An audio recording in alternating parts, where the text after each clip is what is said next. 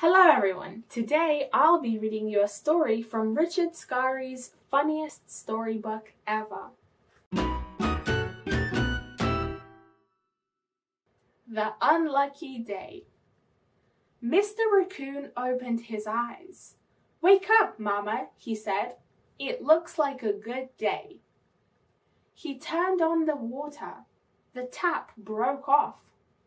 Call Mr. Fix-It, Mama, he said. He sat down to breakfast. He burned his toast. Mama burnt his bacon. Mama told him to bring home food for supper. As he was leaving, the door fell off its hinges. Driving down the road, Mr. Raccoon had a flat tire. While he was changing it, his trousers ripped. He started again. His car engine exploded and wouldn't go any farther.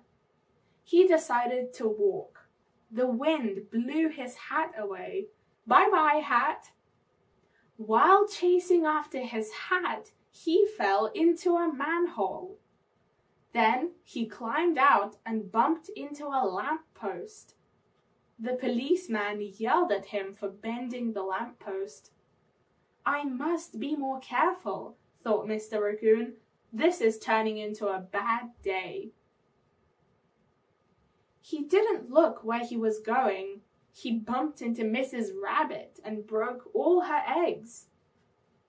Another policeman gave him a ticket for littering the pavement. His friend, Warty Warthog, came up behind him and patted him on the back.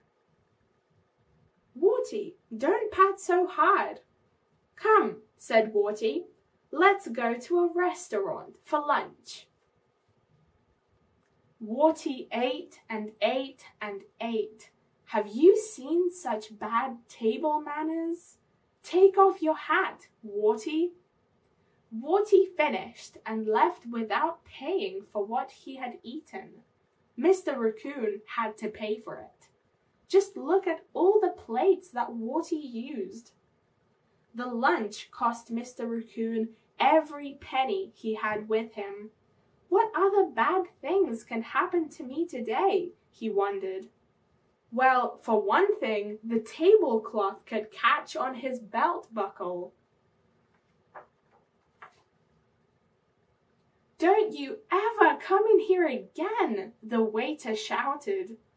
I think I had better go home as quickly as possible, thought Mr. Raccoon.